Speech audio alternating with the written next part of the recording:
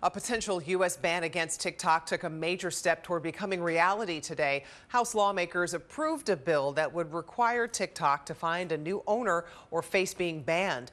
Its current owner is a Chinese company which has been under scrutiny by U.S. politicians for allegedly sharing data with the Chinese government.